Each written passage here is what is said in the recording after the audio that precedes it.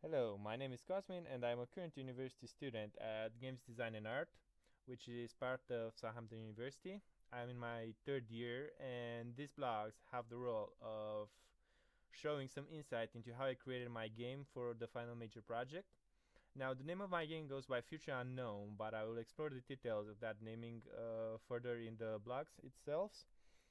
So, I'm creating these videos because I believe that the process of creation of a game is as important as the game itself and I always end up like searching or uh, browsing through how different games were made like Fallout, Mass Effect series, uh, Deus Ex series because I'm really interested into how elements go together to form a great and successful game. In our game course, the final major project has the purpose of creating a whole game throughout the course of the year, which can then be presented at the degree show of the Winchester School of Arts, and as well as in our own games and design uh, show in London Hoxton Arches this year, which takes place, I believe, from the 2nd of July to 5th of July. And I am encouraging people to come and visit and test our uh, games or maybe invite uh, like persons that you know, family, friends, and come and see our degree shows. Because besides my game, there's also a lot of great of great games which will be present there. Before I start talking about the process that I use to create my game, I would like to mention that you can find a lot of the information that I'm speaking about, as well as some other stuff that I did on my website which you can see up here, which is dlinemcdesign.co.uk. Uh, so yeah, just feel free to explore my website and uh, you can contact me or reach me through the hyperlinks here up above. So I will start with the research now. The first stage of the research started in the first week of university. So phase one was just answering to some questions and finding the themes that interest us most. And those questions that were suggested to us by our tutor was like, what super interests me, what stimulates me intellectually, what gets me excited, what makes me cry, what makes me laugh, what makes me angry. I will let you uh, read about those because I'm trying to limit this to 15 minutes because I know that a lot of people tend to kind of lose interest if something takes too long. So yeah, I'm trying to keep it as short as possible. So yeah, after answering those questions, I got some themes that I went and researched more. So I got like human enhancement, technological advancement, pixel art. So those three connected to form like the core of what interests me, and I also have a bit of future in in my game, as well as uh, to some degree stuff about misinformation and how and that integrates itself into the story of the game. So here you can see like the mental maps of those questions and that gave me like the themes which are in yellow that I enumerated above. So after that we went on to researching each of those themes and getting some starting points. Uh, I will not go through all of those, but I will show like the main ones that I did. Like for example, for human enhancement, this is like the mental map that I did for it and what I did was get like some visual research about human enhancement, prosthetics and whatnot, how they look, how they connect, uh, a bit of nanites here, uh, like some kind of futuristic design that goes, how different eye prosthetics might look, uh, exoskeletons, so on and so forth. And I look like so journals, academic entries, which deal with this, which is like ethical issues in human health by Nick Bostrom, uh, prosthetic exoskeletons and rehabilitation, uh, so and exoskeletons and robot prosthetics, which was by Robert Bogue. And then I look at series or projects that dealt with the respective themes, and in this case, it was some of the series that I loved the most and played the most. Uh, the main one being Mass Effect series, which I'm a huge fan of, and then Deus Ex series, which I really love in terms of enhancement, and gave me like the whole idea of uh, prosthetics and how they are used, how cool they look, how they can help improve the life of a person. But also there like some more themes which found themselves into my own narrative for the game, and which I will mention it further on in other video blogs. And another one was Shadowrun Universe, which is an interesting tactical game and has some interesting mechanics. So one of the things of those mechanics that I liked was making use of fantastical elements such as magic.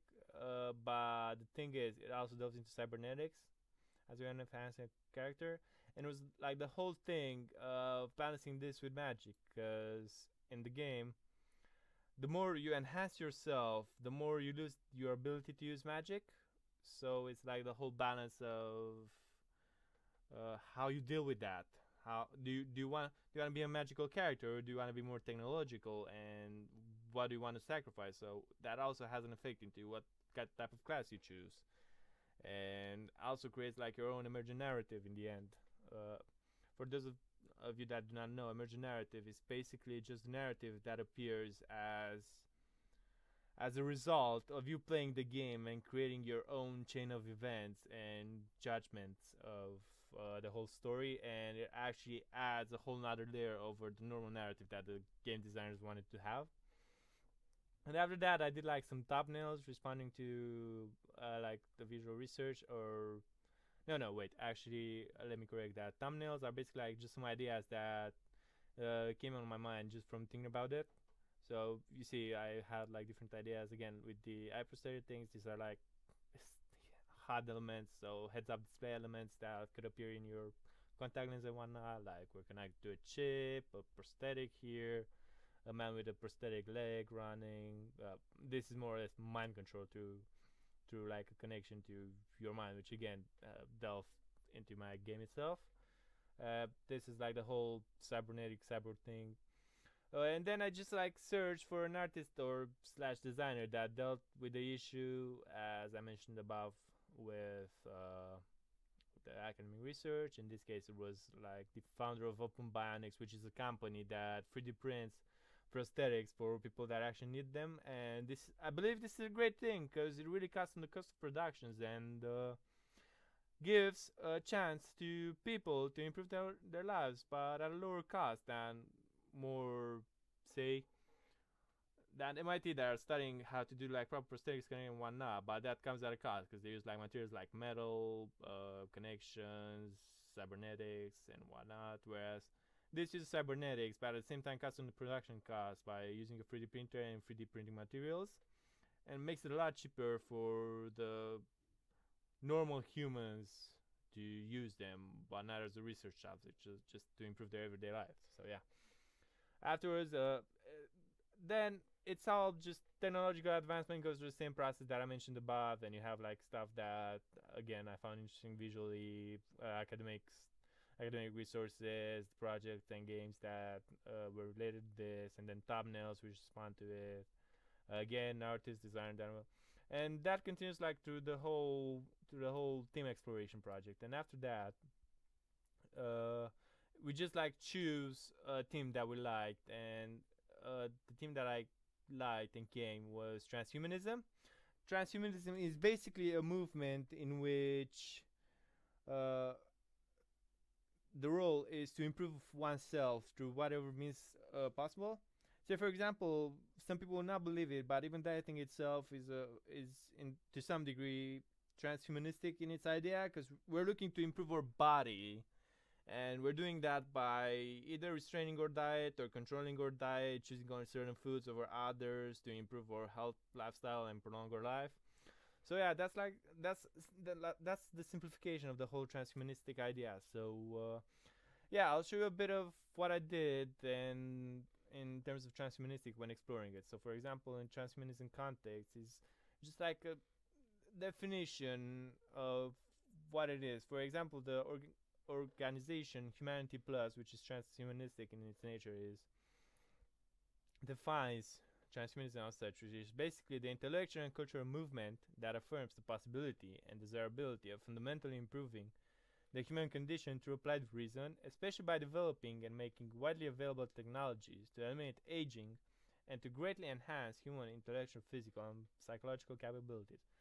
So it says what I was referring to. So it's just like improving our lifestyle through whatever means necessary and prolonging our life, and hopefully to some degree just eliminate uh, death in itself, which I don't believe that will be possible, but extending your lifetime and like living until somebody kills you and whatnot is possible. So yeah, uh, there you have it. And once I established the context of what transhumanism meant, I just went around and delved further into it, finding stuff that might help my research, uh, might fit my research, if you will. So the first thing was like just looking at persons of interest, which helped advance it. And you have guys like Hugh which is a former climber that lost his legs to frostbite during a climb on Mount Washington, and afterwards he finished MIT and become an engineer in, and design prosthetics, which helped him escape from awkward position which other climbers would have problem with because he designed prosthetics in such a way that he had adjustable legs. So that so that's what I mean. You got like people like him at the forefront of the transhumanist movement, which try and improve the lives of of normal people. Then you got like Nick Bostrom, which is basically considered the father of transhumanism, and he has a lot of works done on the whole idea of transhumanism as well as some other things that uh, with the advancement of humanity, such as AI. And a few of the stuff that I researched was uh, written by him. And he's also the co-founder of the World Transhumanist Association, which changed to Humanity Plus, and you saw in the context area defined what transhumanism is. And then you got some uh, philosophers and bioethicists such as Julian Savulescu, which has like some ideas that might be considered some outrageous, such as selecting and modifying the DNA of a person to make the best version of it. So, to some people, that might seem quite exaggerated, but I can understand from some point because we want to have like children which are, uh, which have no problem of dealing with diseases, which run faster, uh, play better, uh, work better. So, what what want the best for the future? But then again, those opinions are different. So, yeah, it depends on each person's point of view. So after looking like uh, at all these persons, I then went to search like through academic uh, journals and whatnot, and afterwards I looked at the whole history of it, which you can find again on my website over here, and it, and it really shows that the ideas of transhumanism were quite early in in history. Even even the whole idea of extending life through, which can be found in like the Epic of Gilgamesh, shows that humanity always wanted to be more than what they are at that point in time. And after looking through like history, I went through like what was the language of transhumanism, uh, which might find itself into my game, which hasn't yet, but the explanations of them uh, are quite interesting and and I don't know, who knows? Maybe maybe it ends up in my game. Uh, then I did like some visual research. Uh, had like some color palettes which I might use from them. Uh, again, some music which like reminds me of transhumanism. It, it, it's more or less just like electronic music, but uh, brings quite a, an interesting idea about them. Uh, and again, yeah, some videos which is which is basically a lot of TED talks, which I would recommend watching it that deal with uh, the whole idea of transhumanism, prosthetics, how prosthetics improve, uh, how how we might live further on, what they found so far. So so yeah, there are interesting subjects. So I would recommend just uh, getting a look through them, even on my website, or just go into TEDx and just look look at them, because then you got some other links which are interesting as well. So yeah, after this phase was finished, we switched on to like phase three, which is basically just creating some stuff uh, to get an idea of how our game might end up looking like. So in this thing, I I'm I'm not like the greatest artist or whatnot, but I'm always eager to learn. So I went to like Inkscape Essentials to help me uh, work with the Inkscape program to create like different stuff that I could use. And then I just like went and did some different objects that might find themselves into like a transhumanist medium, you know. So afterwards, I had like, for example, like an AI drone. Uh, an AI drone, which is basically an artificial intelligence drone which houses, uh, as from the name, an artificial intelligence.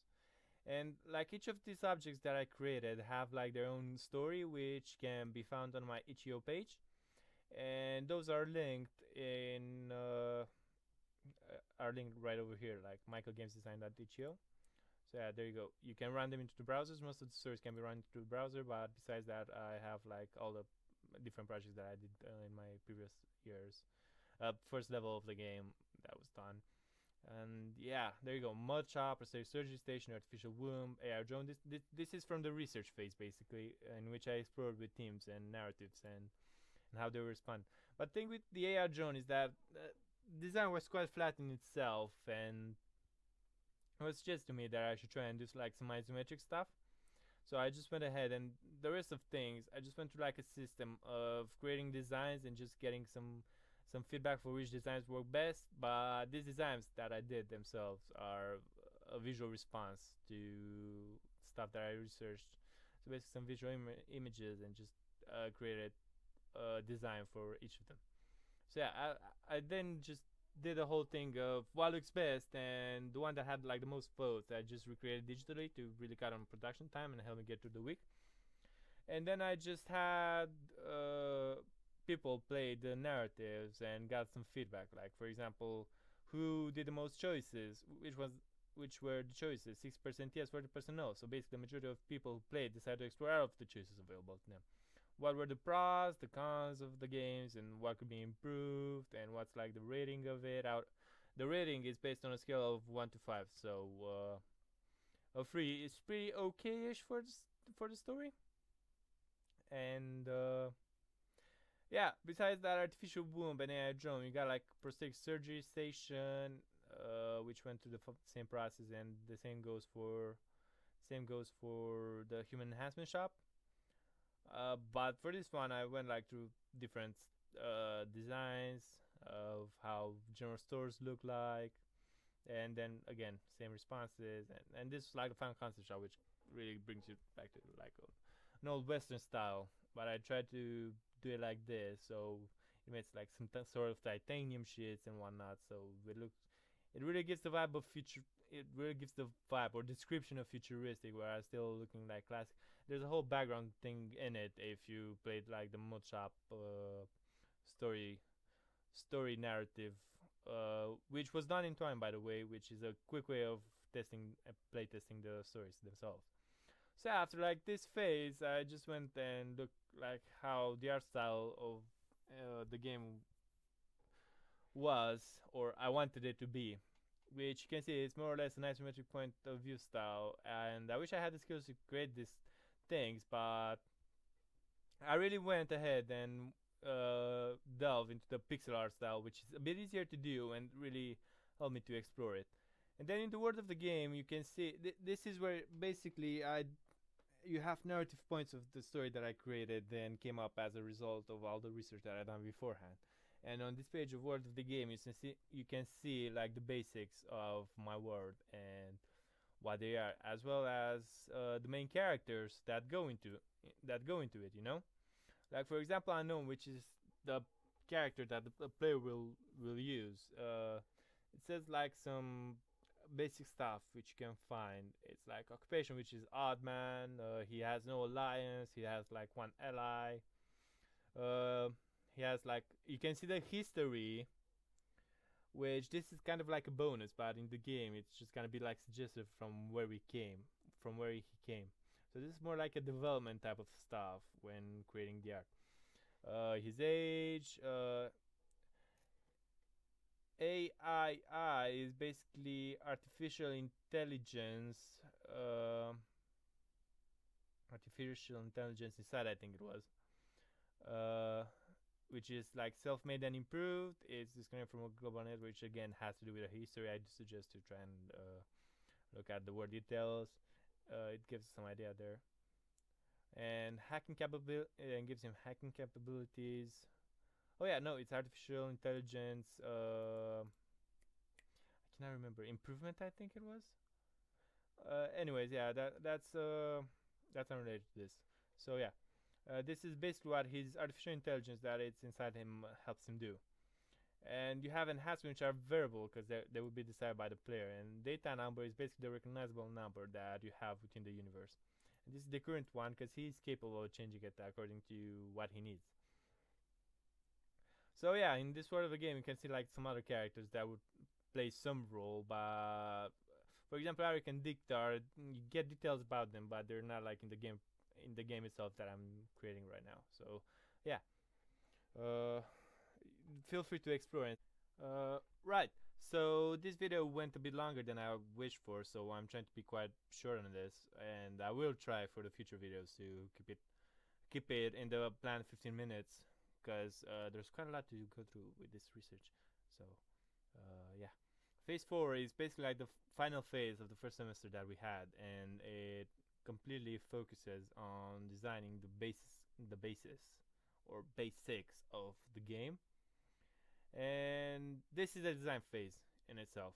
So for phase four was creating a demo storyline, uh, which is the story for the vertical slice. Uh, funny enough, uh, it ended up like this, which I think was an undesirable, cool way of telling the story itself.